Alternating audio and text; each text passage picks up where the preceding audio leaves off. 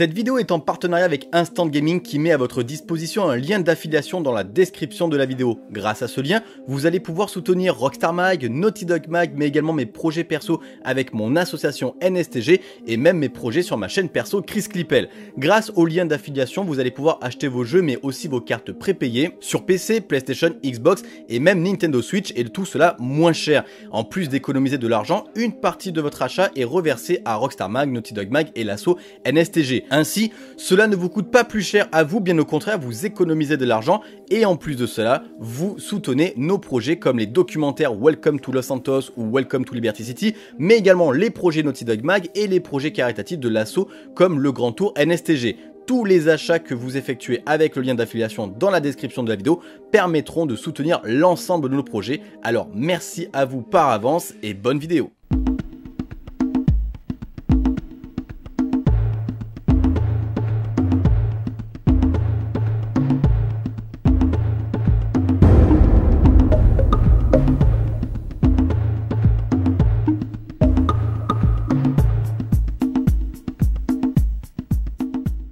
Salut à tous et bienvenue sur Naughty Dog Mag pour le premier vrai ou faux de cette année 2024. Encore une fois, une très belle et heureuse année. Bon, on s'était vu pour la vidéo des prédictions. C'est vrai que dans les petites vidéos Dogs News, j'ai pas forcément le temps de vous souhaiter tout ça. Mais en tout cas, voilà, comme c'est la première grosse vidéo, je vous souhaite encore une fois une très belle et heureuse année 2024. Plein de belles choses pour vous, de la santé bien entendu, mais aussi plein de réussites, d'amour, de joie, des réussites professionnelles et personnelles. Et donc, on va partir sur ce premier épisode. Comme à chaque fois, je réponds à une quinzaine de vos questions du mieux que je peux sur Naughty Dog, leur jeu, leur, leur, leur studio désormais leurs films ou leurs séries, mais également pourquoi pas des questions sur moi ou sur Naughty Dog Mag. Donc n'hésitez pas. Petite aparté juste avant, je vous rappelle que cette semaine, c'est la sortie de The Last of Us Partie 2 Remaster qui arrivera vendredi prochain. On vous prépare une grosse vidéo dès demain. Tout ce qu'il y a à savoir sur ce remaster, comment euh, avoir la mise à jour à 10 euros,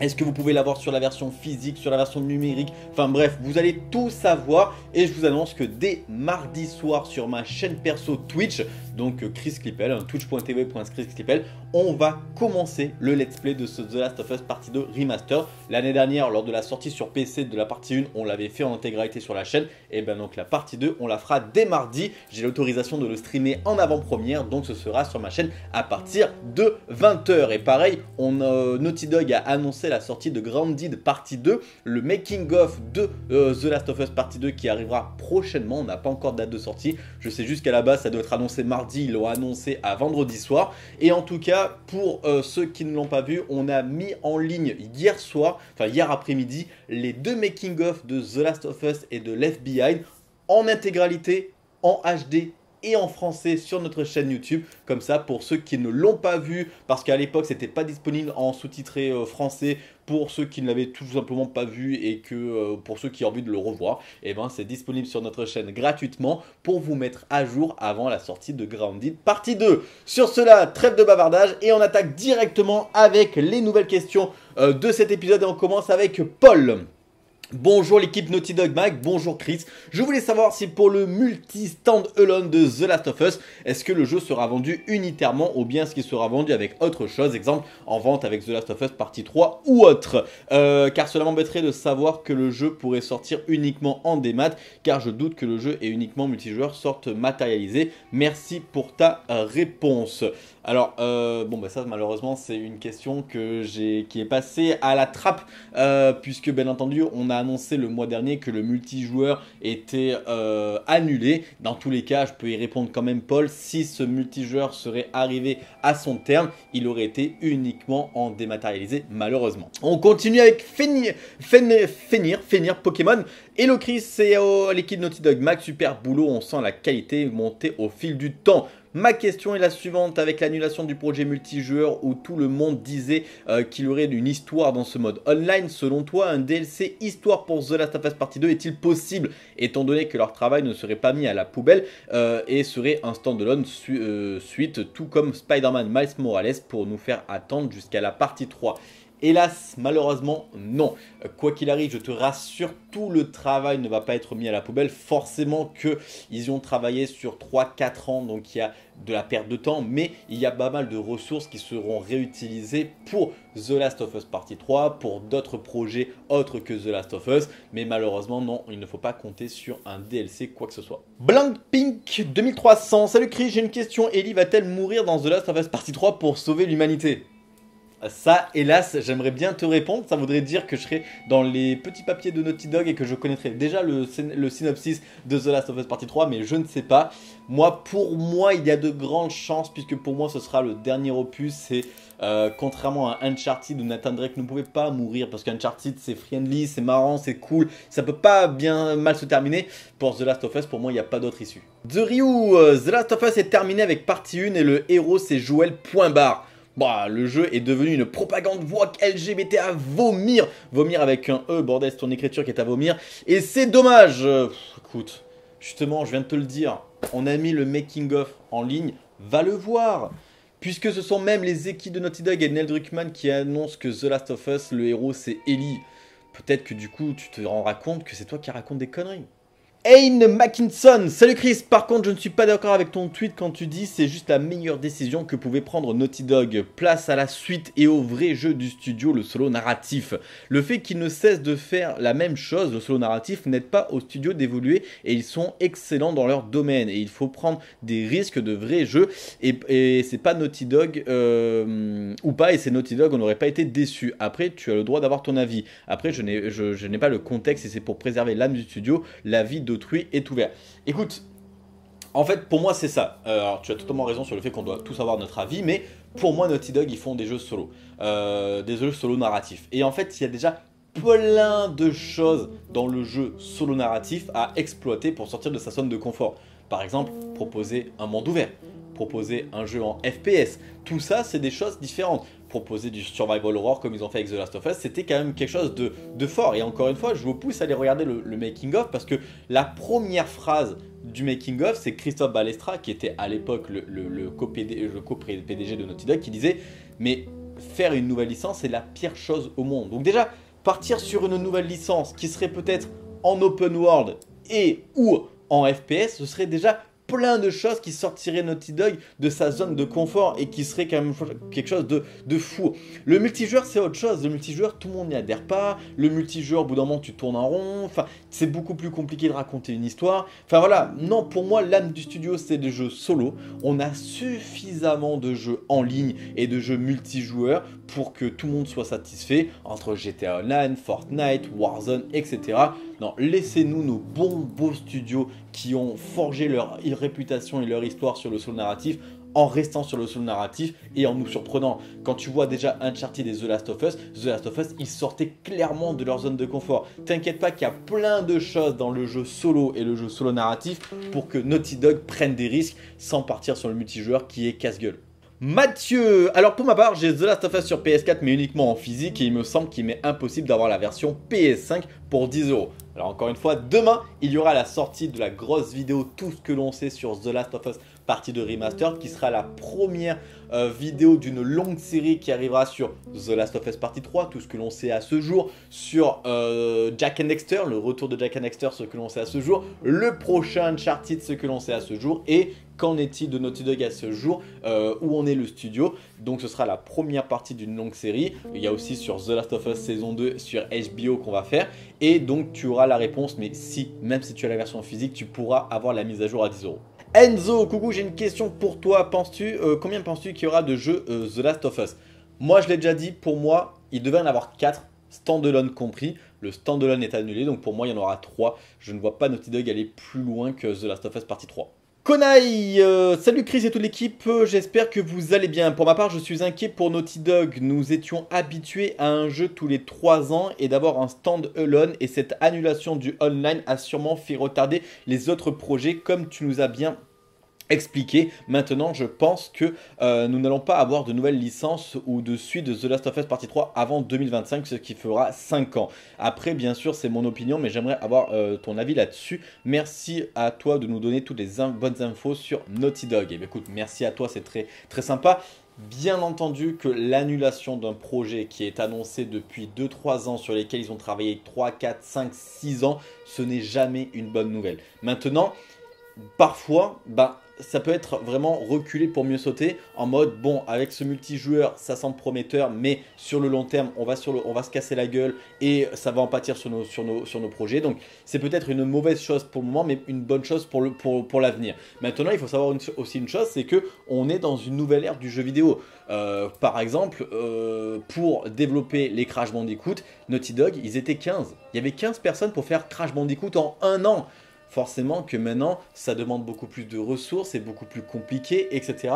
Donc ça va prendre de plus en plus de, temps. Maintenant, il faut savoir que Naughty Dog recrute, Naughty Dog recrute et permet de créer de nouvelles équipes. C'est-à-dire qu'avant, Naughty Dog faisait qu'un seul jeu, ils étaient euh, uni-projets. Maintenant, ils sont multi-projets. Apparemment, il y aurait 3 voire 4 projets qui seraient en cours actuellement du côté de chez Naughty Dog. Donc, ne t'inquiète pas que si un projet prend du retard, les autres projets continuent à avancer. Donc ça permet de limiter les retards, même si forcément il y en aura quand même. Julien, salut, d'après vous, l'abandon définitif du multijoueur de The Last of Us a-t-il été influencé par le flop de The Day Before? Dans, une, euh, dans cette hypothèse et dans un contexte où Naughty Dog était déjà dans le doute, ils auraient vu les attentes trop importantes des joueurs sur un jeu du même type, euh, leurs limites techniques et n'auraient pas trouvé de compromis narratif ludique en jeu de service, merci. Alors, pour la deuxième partie du commentaire, peut-être, Hein, peut-être, ça peut. Pour la première partie, non, ça n'a rien à voir avec The, Day Before. The Day Before, c'est simple, le jeu a été annoncé dès son annonce. Moi, j'avais dit que ça serait un flop et que ça n'allait pas marcher. Déjà, The Day Before, c'était un plagiat de The Last of Us. La police d'écriture de The Day Before, c'était exactement la même, ou même il y avait The en haut, Day Before, c'était vraiment la même police et la même structure, au point où du coup, je pense qu'ils ont pris un coup de pression. Ils ont changé la police d'écriture en étant très similaire. Et plutôt que d'avoir un, logo euh, vertical, ils ont un logo horizontal. Mais à la base, c'était un jeu qui, qui plagiait d'autres jeux. C'était couru d'avance sur un studio un petit peu, on va dire, obscur. Et vu ce qui s'est passé, voilà. Donc non, The Day Before n'a absolument pas influencé le choix de Naughty Dog. Euh, JMYCBNC, euh, salut Chris, j'ai deux questions. Déjà, j'ai joué à plusieurs fois à The Last of Us Partie 2 et j'ai pas entendu parler, mais à ton avis, des news de Bill ou de ce qu'il est devenu depuis la partie 2. Bella Ramsey va être remplacée ou modifiée numériquement dans la saison 2 pour montrer les 4 ans passés depuis la saison 1. Alors, concernant Bill, Bill, moi je vous l'ai dit, euh, il est mort. On l'a vu dans la, dans la série. D'ailleurs, c'est pour ça que je vous ai dit, hein, si vous avez fait le jeu The Last of Us, c'est très bien. Si vous avez vu la série, c'est très bien. Mais si vous avez fait le jeu, il faut voir la série. Si vous avez fait la série, il faut jouer au jeu. Parce que les deux sont complémentaires. Et donc, on sait maintenant que Bill est mort. Dans le premier jeu, c'était largement suggéré que Bill allait se suicider.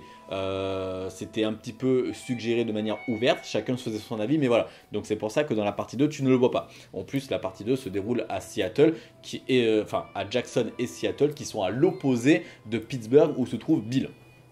Pour ce qui est de la saison 2, non, non, ce sera bel et bien Ramsey qui va jouer dans la saison 2, et il n'est pas prévu qu'elle soit modifiée numériquement.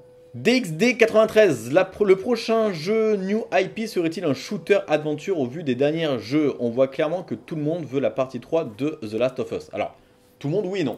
Il y a beaucoup de gens qui veulent la partie 3 forcément, mais il y a beaucoup de gens aussi qui ont envie de nouvelles choses. C'est vrai que Naughty Dog, depuis 2007, donc cela fait 15 ans maintenant, euh, plus de 15 ans, euh, 17 ans même, 2007, euh, oui, ça fait 17 ans, ça fait beaucoup. Euh, ils ont fait que deux jeux, Uncharted et The Last of Us. Donc il y a beaucoup de gens qui veulent juste une nouvelle licence. Maintenant, la nouvelle licence, beaucoup de rumeurs laissaient sous-entendre que ce serait quelque chose dans l'espace. Steve, salut, est-ce que c'est vrai que Naughty Dog travaille avec Ben Studio pour faire Days Gone 2 J'ai vu ça sur un article, je voudrais savoir si c'est vrai ou faux. Merci pour ta réponse et force à vous. C'est totalement faux. Euh, il y a des rumeurs selon lesquelles Naughty Dog et Ben Studio pourraient collaborer ensemble. Il y avait déjà eu des rumeurs selon lesquelles euh, Ben Studio devait se charger du prochain euh, Uncharted et que finalement Naughty Dog avait trop le lead dessus et que le projet aurait été annulé. Là, il y a de nouvelles rumeurs selon lesquelles ils pourraient à nouveau se rapprocher, mais c'est en aucun cas pour The Days Gone 2. En tout cas, ça n'a pas été annoncé pour le moment. Poyette, pourquoi Naughty Dog pourrait pas nous faire affaire avec un autre studio pour s'occuper du online de The Last of Us? Parce que The Last of Us, c'est le bébé de Neil Druckmann. Et je ne pense pas que Neil Druckmann ait envie de, de laisser sa, euh, sa licence ou une partie de sa licence à un autre studio. On l'a déjà vu avec Jack and Dexter, puisque c'est. Euh, c'était qui euh, Mince, j'ai perdu le nom. pour le, Jack and Dexter The Lost Frontier et Dexter sur PSP, c'était un autre studio qui s'était. Ah là, je l'ai sur le bout de la langue. C'est bah, ceux qui avaient fait Uncharted Golden Abyss. Et c'est ceux qui ont fait The Order, mais, mais je, n'aurai pas le nom. Euh, je n'aurai pas le nom, ça va me stresser ça. Mais en tout cas, c'était des jeux qui étaient bons. Enfin, pour Uncharted, c'était plutôt bon, ça va. Euh, pour euh, ce qui est de Jack and Dexter de Lost Frontier et Daxter, c'était pas très bien. Et je pense pas que Ned ait envie de prendre le risque de confier sa licence de Last of Us, même multijoueur, à un autre studio. JazzX, euh, pardon, merci pour ces réponses. Uncharted 5, penses-tu qu'il pourrait prendre comme personnage principal la fille de Nathan Drake avec un personnage secondaire ou un nouveau personnage euh, qu'elle sera, disons, amoureuse à bientôt? Euh, qui serait. Ah Est-ce que tu penses que pour Uncharted 5, quoi qu'il arrive, ce sera la fille de Nathan Drake, mais avec un personnage secondaire connu ou avec un nouveau personnage? Honnêtement, je ne sais pas. Moi, je pense même que c'est même pas Uncharted 5, c'est peut-être un reboot d'Uncharted, je sais pas. on sait aujourd'hui qu'il y a un projet Uncharted qui est en cours, mais on ne sait pas trop vraiment de. On sait que Naughty Dog ne devrait pas s'en occuper non plus. Donc voilà, moi je pense qu'il serait mieux qu'on laisse Uncharted tranquille. Ziggy, euh, pour la dernière question de cet épisode, j'espère vraiment que euh, Yann Alexander reviendra pour jouer Lev dans la série aussi. C'est le seul personnage des deux jeux que je n'arrive pas à imaginer joué par quelqu'un d'autre. Faites attention, vous avez plein de commentaires transphobes à son sujet encore. Je sais pas si vous avez supprimé les commentaires, mais ce serait chouette. Alors, effectivement, euh, on ne supprime aucun commentaire sur Naughty Dog Mag, les critiques, etc. Sauf les insultes, les insultes, les actes raciaux, sexistes, homophobes, transphobes, etc. Donc désolé s'il y en a encore. N'hésitez pas à nous mentionner sous les commentaires où il y en a, comme ça on fera le ménage. En tout cas, pour Yann Alexander, le problème c'est qu'il faut savoir si c'est un acteur dans la vraie vie ou quoi que ce soit. Euh, il y a beaucoup de personnes qui reprochaient qu'il n'y avait pas Cassina, Cordina, je crois, l'actrice de, Dina, qui sera finalement interprétée par Isabella Merced, mais il faut savoir une chose, c'est que pour les acteurs, bien souvent, euh, Naughty Dog ne font pas appel à des acteurs pour l'apparence physique. Genre, euh, Cordina, ce n'est pas une actrice. Elle a prêté son visage à Dina, mais ce n'est pas une actrice. Pareil pour Abby.